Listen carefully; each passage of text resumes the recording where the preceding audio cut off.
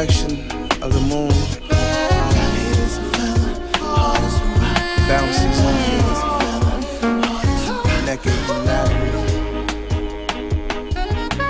Hello, hello, hello, and welcome to this episode of Jeanson Speaks Sex Vlog, where you, the audience, control the conversation. Now, today I want to tackle two topics, one of them being what my role is as an intimacy and sex coach. I realized that I did not touch on that in the introduction video, and that's probably some important information that you might want to know. So I'll give you what I do and what I do not do. So let's start with what I don't do.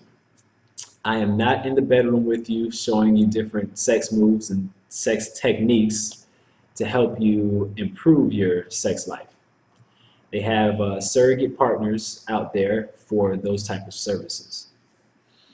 Also, what I do not do is I do not provide therapy. So I don't dig deep into your past to find out what's happened to you as a child or what's happened to you in the past in general. Uh, we do very light work in terms of going into your past, and it's very focused on your sexual past. But the main focus as, as a coach is how to get from where you are now to where you want to go in the future what your goals are and getting you towards your goals based on where you're at right now. So that's a summary of what I don't do.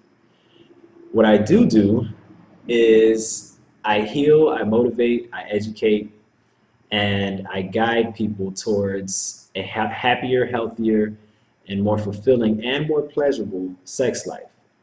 I also show people how to express their love and intimacy in more effective ways. And this is done through lectures, workshops, Q&A sessions, and also personal one-on-one and couples coaching.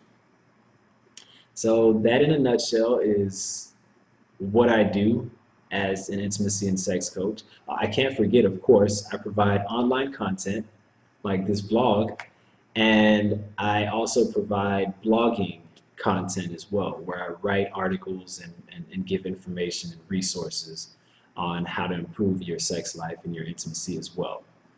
So that, in a nutshell, is what I do as a sex and intimacy coach. The second topic for today is dick pics, or pictures of penises sent over various forms of media, such as text messages or email, or any other form that you can send pictures on. Are they okay? And if they are okay, when do you send them? Well, to answer the first question, I think they are okay if they're sent within context.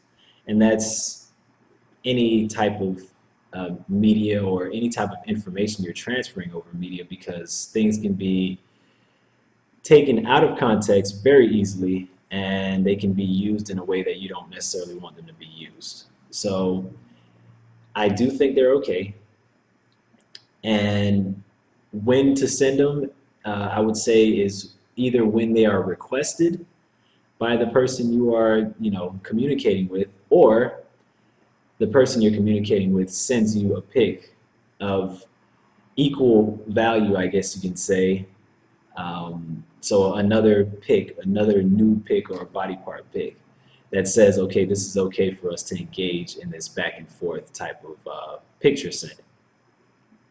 Now, honestly, I think those are pretty much the only times, uh, with the exception of if you're in a relationship with someone, it doesn't have to be a, you know, necessarily a committed relationship, but if you've been sexual with someone and you continue to be sexual with that person, then I don't think that it's an issue unless that person says it is. So if you are going to send them, just remember to send them when they're requested or when you're getting a body part first being sent to you or when you've already been sexually active with a person and they haven't shown um, as they haven't expressed that as being a problem to to exchange those type of pictures. Uh, the one thing to kind of remember about it or the way to look at it is if you're not able to go to someone you're attracted to in person and just pull your penis out, then you probably don't want to send that same person a dick pic because it's it's kind of along the same lines of, of just kind of putting it or forcing it onto someone without them having an option or a choice of whether they even want to accept it or not. So, you know, that's something that's really important is consent and permission. So, uh, yeah, so that's the topic for the day. And I'd like to say thank you. I'd like to also say if you want to like or subscribe to this page, please do on the bottom of this video. And I look forward to hearing your comments and or questions. And I also look forward to the next episode. Thank you very much. I'll talk to you all later.